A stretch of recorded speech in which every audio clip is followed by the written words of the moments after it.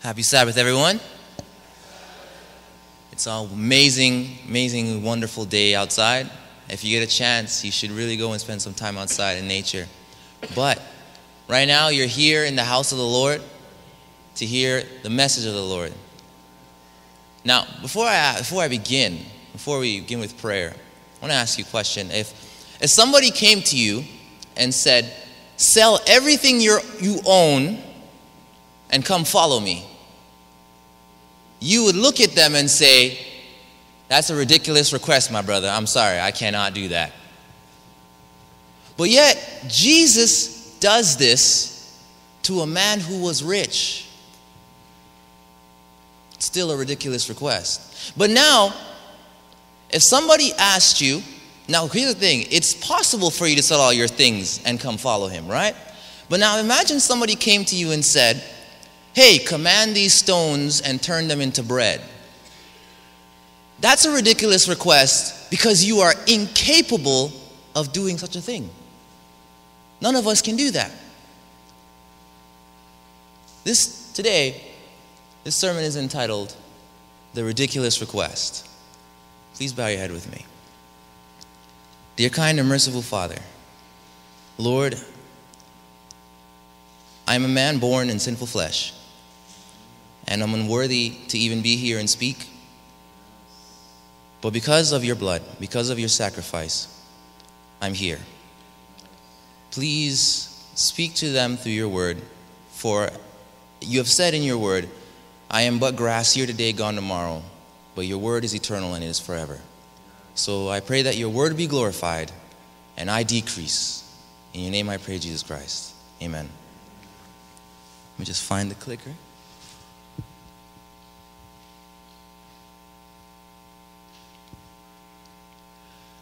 Now, I wasn't always an Adventist, for I wasn't really religious at all. Um, one might consider that I, I was atheist or just multi religion because I believed in any God. But God drew me to Himself. And I fell in love with Him. And I said, okay, I need to know more about you. I'm 17 years old at this time. And I don't know anything about you. But all the youth in the church, they know about you. So I said, okay, let me just read the Bible then. Now, I started with the Beatitudes, and I love the Beatitudes. Blessed are they that are, that, are, that are meek, for they shall inherit the earth. Blessed are the merciful, so they shall receive mercy. And I said, yes, I agree with this. This is awesome. But then I came to a passage that when I read it, I said, Lord, I do not agree. It says, You have heard that it was said, an eye for an eye and a tooth for a tooth. But I say unto you, do not resist an evil person. But whoever slaps you on your right cheek, turn the other to him also. Wow. Jesus, that's a ridiculous request. Now, someone said to me, okay, Michael, no, you have to understand the principle though. It's, it means don't retaliate. But I'm sorry, it means more than that. Because if someone slaps me in my face, right? Not retaliating is basically I just walk away and I don't, you know, I just leave them alone. But if somebody slaps me in my face, according to the verse, turn and offer them your other cheek also. So it's like this slap me, and I offer you. I'm encouraging you to continue. Am I not? So that's ridiculous. Nobody would want to. Why would you encourage someone to keep doing it? But you know, Jesus is our Savior. And the Jews knew this rule. They knew this rule. Oh, before I go there, they knew this rule. They knew the rule of eye for an eye, right? They were told this by Moses in the law of Moses. But when it came to their time, instead of now, just to start off, the reason why that law was implemented in the first place was because of tribal warfare. They were, at, there were tribes at that time. And here's the thing they were really cold. If you killed one member in their tribe, they didn't just punish the person that did it, they went after your whole tribe and wiped them out. So, to turn this down a little bit, turn this down a notch, and make it right, they said, okay, the person that did it is the one that gets punished, eye for an eye. But now, in Jesus' time, this they had changed the law a little bit. Instead of you know um, mutilation, if you you know if I take out your eye, you take out mine. Instead of that, they said, okay, financial compensation. So if I did something wrong to you, especially slapping someone in their face, I could you could take me to court and sue me, and I would have to pay you money in return. And the reason why this was, they, they lived in a shame and honor society. If you had honor, you got into the best schools, you got the best job, you were recognized in society.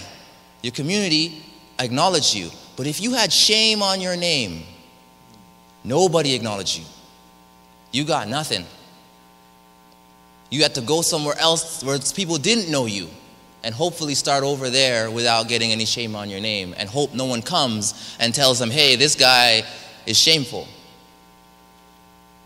So now, wait, Jesus, are you saying, in the principle, if I apply this, are you saying if somebody does something wrong to me, I should not seek financial compensation for it?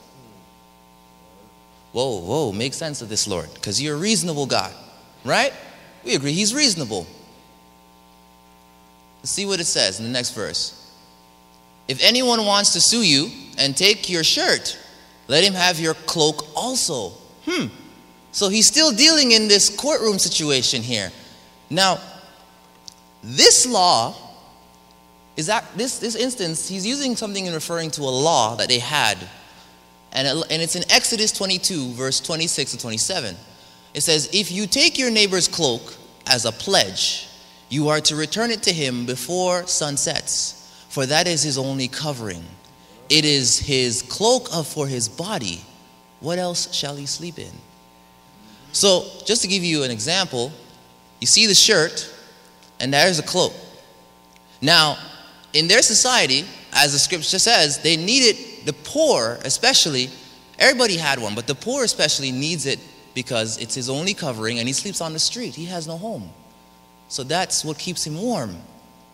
But according to the verse, if somebody sues you, if somebody sued a poor man, that poor man is to take, they sue him for a shirt. He takes his shirt and he's to give his cloak also. You know, isn't that? He's to give it also. So now he has nothing. Jesus, that's a ridiculous request. That's not logical.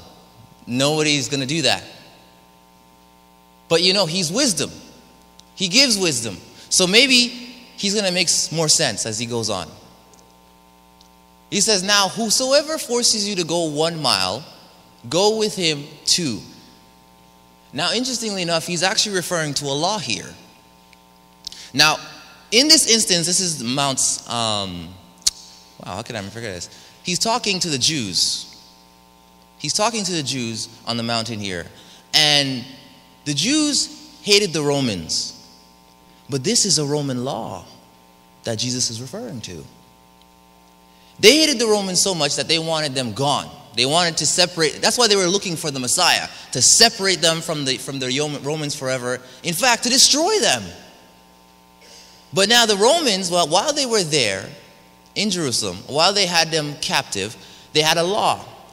If a military soldier, a soldier, went wanted to carry had a lot of load and he wanted to carry his his belongings but he couldn't he could take somebody who was not a roman citizen and force them to carry his armor or his load one mile. And they had to do it of punishment of death or shame so you being a jew hear that your messiah says Obey the law of the people that you hate. I'm sorry, Jesus, that's a ridiculous request. No person is going to do that. Not even that. Notice what he does. He says, Go with them two miles. You're only required to go one. But he said, Go two. Now, I'm to be honest If my wife and I, my wife asked me, honey, can you carry this for me one mile? I would say, yes, baby, I'll carry it for you one mile. And I'll be willing to carry it for her two miles because I love her. But now, if she forced me, as the verse verse, forced me now, I would carry it two miles, but I'll be very reluctant. Now, this is referring to an enemy, not a loved one. So if an enemy forces you to do something for them, Jesus is saying, do it for them and go beyond. Wow. I'm sorry, Lord. That's ridiculous. But He's our God. He knows better, He knows best, and He makes sense. Right? So let's see if He's going to make sense now.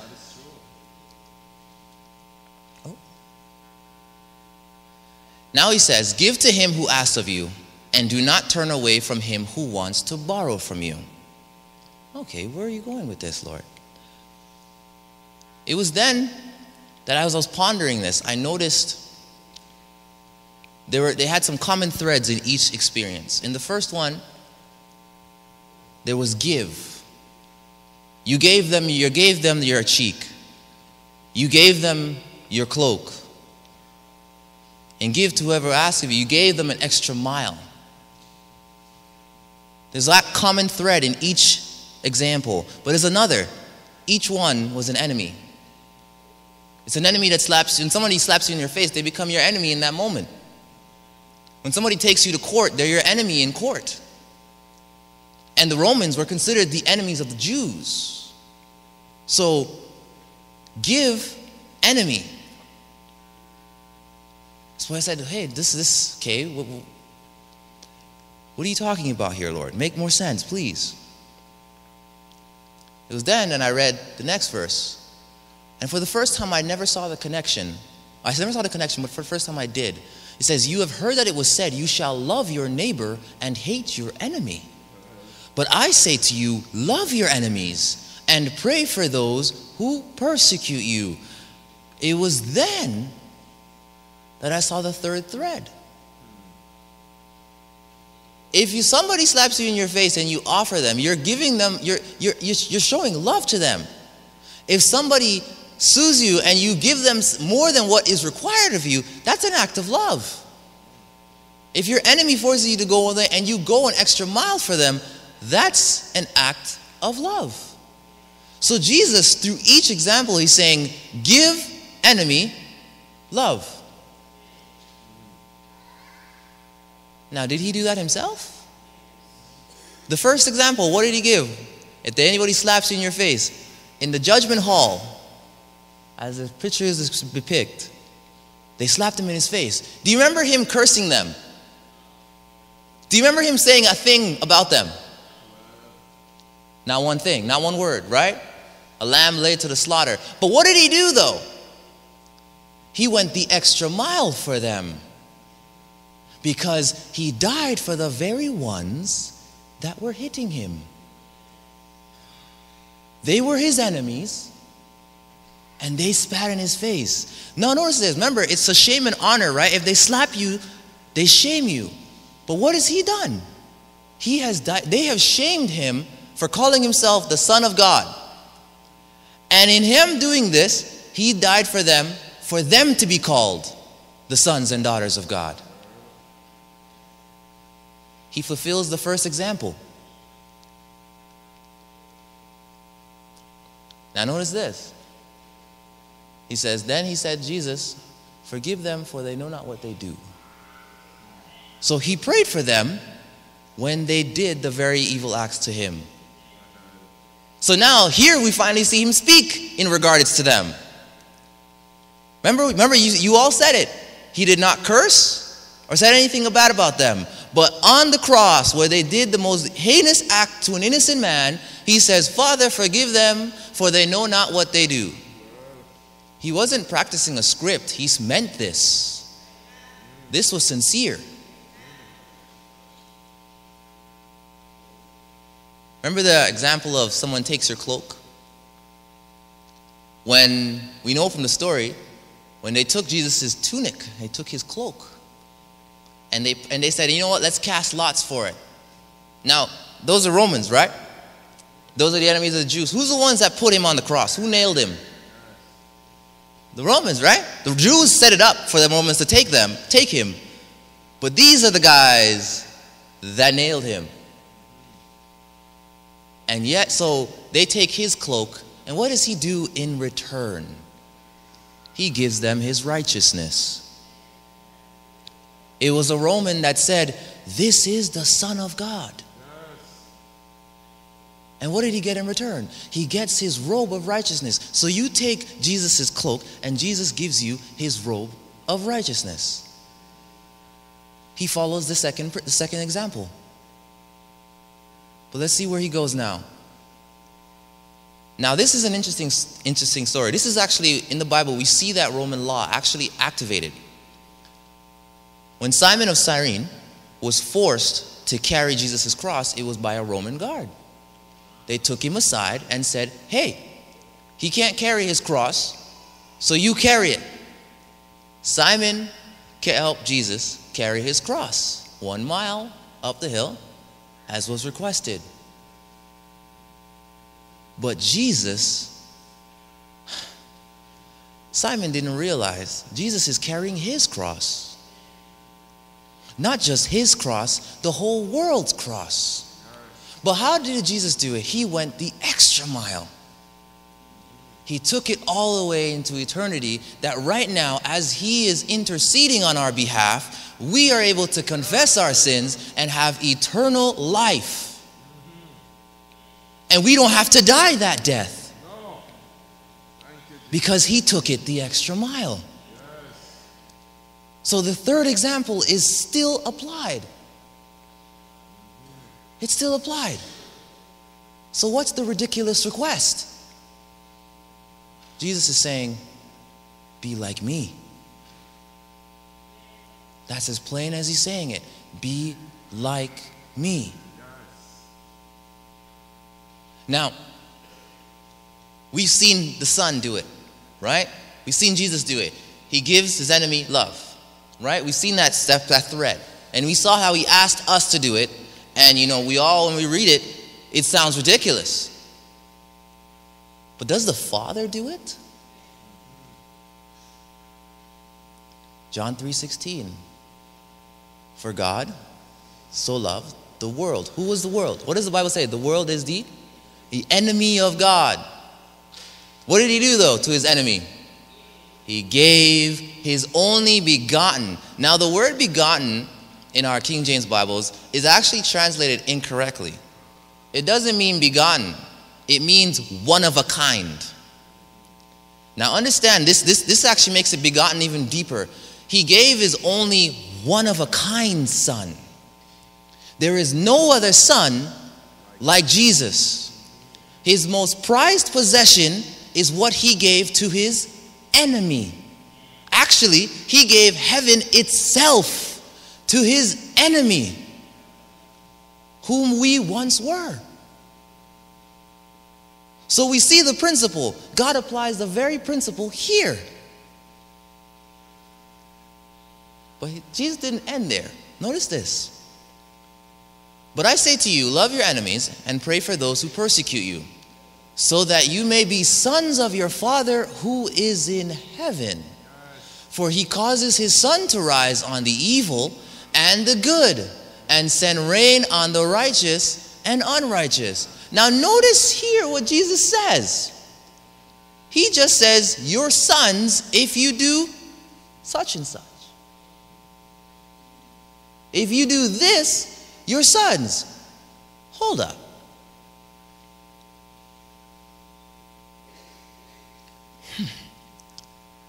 And then he ends. He ends with this.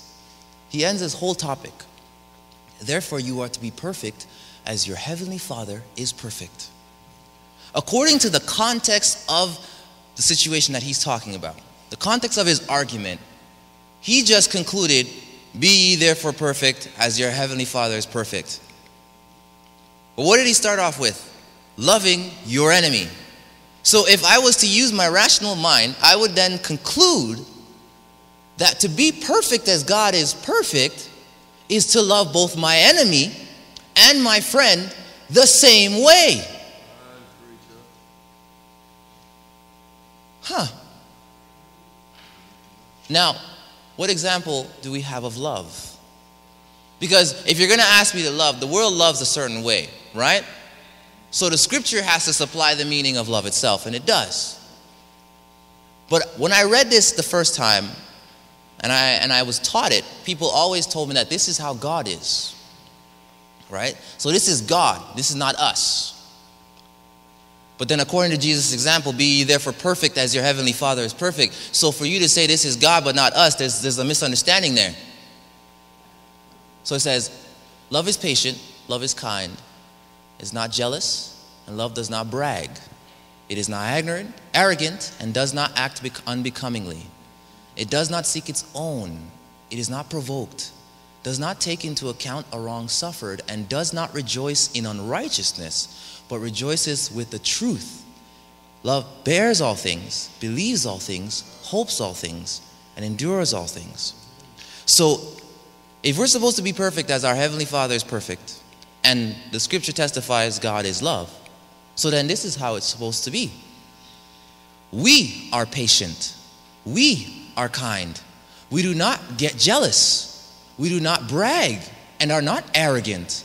We do not act unbecomingly. We do not seek our own. We are not provoked. We do not take into account a wrong suffered. We do not rejoice in unrighteousness, but rejoice with the truth. We bear all things. We believe all things. We hope all things. And we endure all things. This is the standard that God has set for us to meet. But the sermon's entitled The Ridiculous Request. And I'll, and I'll go back to that. Now, John says this blatantly. So that you, because I'm, I'm, I'm a sinful man. So, you know, if I said for my own opinion, you know that there's some error in there. So let's let the Word of God say it for itself. In this is love not that we loved God, but that He loved us and sent His Son to be the propitiation for our sins. We all agree with that. Beloved, if God so loved us, we also ought to love one another. No one has seen God at any time. If we love one another, God abides in us, and His love is perfected in us. By this we know that we abide in Him and he in us because he has given us of our spirit. Hold on. Did John just say how we can know if we are the sons and daughters of God? By this we know. So if I was to put it aside here, if I love those who love me and love and hate my enemy, and then if I love those who love me and love my enemy, I'm a child of God according to that standard. But if I am according to this standard, I'm not according to that standard. So hold on. That means that all of us in this room, if one of us can say that we hate someone, according to this, we, God does not abide in us. According to that statement, he does not abide in us because we don't have his spirit. Wow. So then, love is God dwelling in you. Anyone who is a child of God, you're not a child of God by because you your name's on the church records. You're not a child of God because you come to church. You're a child of God because the love of God is in you. That is the standard, and it must be met. We cannot live a moment of our lives without that standard in us. Every fight, every argument must be put away from us. For if the love of God is not in us, according to this, not my words, but the word of God, we are not His. So if we're not His, then whose are we? Thou hast said. John continues, and we know and believe the love that God has to us. God is love. And he that dwelleth in love dwelleth in God, and God in him. That's pretty plain. I don't, I don't even need to say anything. Then the next, next one. We love because he first loved us. If someone says, I love God, and hates his brother, he is a. For the one who does not love his brother whom he has seen cannot love God whom he has not seen. The word of the Lord has said it. And so John ends the chapter with this statement. And the commandment we have from him that the one who loves God should love his brother also. Now, the, now let, let's, let's, let's actually be more specific on this because sometimes we say brother as meaning like, oh, my brother in the faith, but it's not that. We are all in this room, we are all brothers and sisters by faith through Christ, right? But we are also all brothers and sisters by blood through Adam and Eve. Because through one man and one woman, we all came into the beginning. But the thing is, not, not just us in this room, everyone outside of this building follows the same conditions. Though they are not sons, some of them may not be sons and daughters of God by faith yet, but they are still our brothers and sisters by blood through Adam and Eve. So this means if there's anyone outside these doors or in these doors that I do not love, but I can say confidently, I hate, then I am not a child of God. And it is evident that God does not abide in me. But now this is the commandment. Because John was the one that said it, right? But let's get it from our Lord Himself. A new commandment I give to you that you love one another even, even as I have loved you, that you also love one another. Huh, interesting.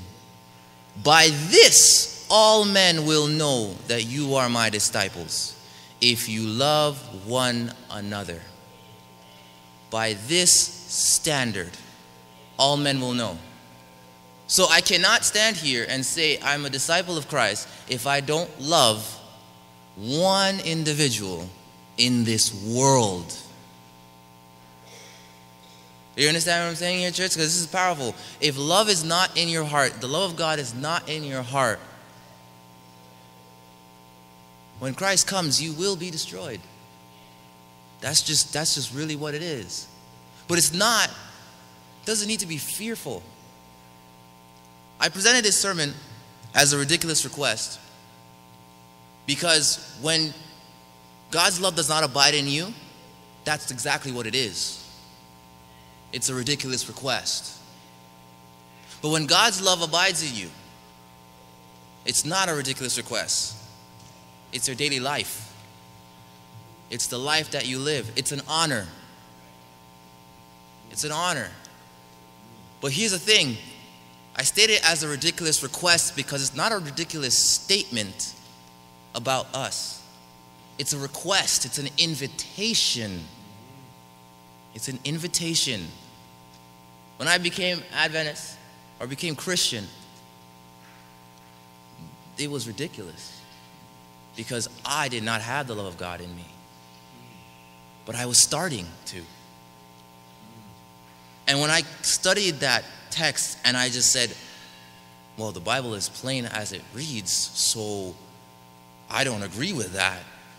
And I'm not. And then when, you know when I said, okay, I agree with it, I support it, and then I had life experiences that I tried to put it into practice, I found something in me that I could not do it. The text was screaming in my head, but I just could not do it. And I was right. I was right. But because of this, I can. Amen. Because of this, we can. This is why he died. To take all that hate, all that inability to love upon himself. And in exchange, give us His ability and His love to us, towards us, into ourselves. Now, how many of you have heard this word righteousness by faith, or justification by faith, and sanctification? You've heard those? You know, we've used those big words a lot, especially in seminary. But you could tell, you yes. we use them a lot. But they're so simple that we shouldn't even have a big word for them. Because this is what it is Sanctification by faith is this God declares you loving as He is love because of the merits of His Son upon you when you believe in His Son. Sanctification by faith, sanctification is this you now are imparted that love from God into your being. Yes. The Holy Spirit, who remember it says God is love, right? Yes. So God is love, and the Holy Spirit is also God, right? So the Spirit of God, where does it dwell? In us. So He's given us His Spirit, the Holy Spirit, which is love, and then what we do? We manifest it. So when we come to the cross, that's what we're asking for. And day by day, that's what we're growing into. We're just, we're just growing in love. That's all Christianity. Believing and being considered loving as God is loving. And then day by day, becoming more and more and more into love. So if you already have love in your hearts, brethren, I encourage you and I say, grow more. Yes. And if you don't, and you know that you don't, and you're honest with yourself that you don't have that, and that's okay because I myself have struggled with that. Just go to the cross. Just go to the cross and give him. Because when he died, he bought your hatred, your sin. Remember what we said in the scripture reading? If any man does not uh, love his brother, he abideth in death. Hold on, wait, I thought sin brought death. What did the scripture just call sin? Failing to love one another. The Ten Commandments, Jesus summed them up. Love the Lord that God with all your strength, with all your heart, and with all your mind. And the second, love one another as yourself. So if we were to take those two, it's thou shalt love selflessly. Right? Because there's no love to, one, to oneself in there. It's just love to your fellow man as, as, as you love yourself. Right? So, thou shalt love selflessly. So, the Ten Commandments can be summed up as thou shalt love selflessly. So, it's love. So, when man broke the command of God, he stopped loving God and he stopped loving his fellow man. So, now this is it. This is what he's trying to do. He's just been trying to bring us back to that standard. We can't do it of ourselves. We can. But when we come to the cross, He will give us His self sacrificing love. And it will sanctify our hearts, it will change our hearts. So, church, I do what Moses did, I do what Jesus said. Behold the Lamb of God that takes the sins of the world and fulfill his request. That sounds ridiculous at first, but it's joy and delight. And this is it be like me.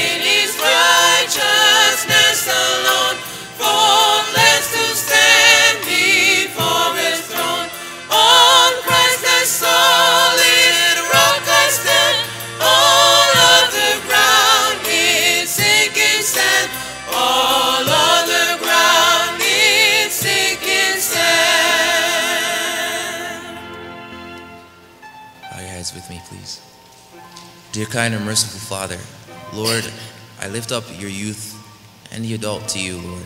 Yes. Please take our sin, our hatred of each other, our loathing of each other, our arguments, our fights, our, our evil thoughts, our selfish thoughts towards one another. Take our sins, Lord, as you came to die for them, and give us your love in its place. Give us your righteousness and your spirit. Dwell in us, Lord, richly, that as we go from, from this service, hearing this message that you want us to know and understand, please bless us to manifest this love and to grow brighter and brighter, Yes. bright as the sun. In your name I pray, Jesus Christ. Amen. Amen.